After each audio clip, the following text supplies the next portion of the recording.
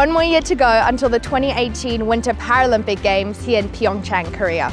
This means one more year of racing, training, competing, making sure that we can put our best foot forward come 2018 Games. With our team taking shape, we can't wait to show you what the new generation of para winter sports is all about.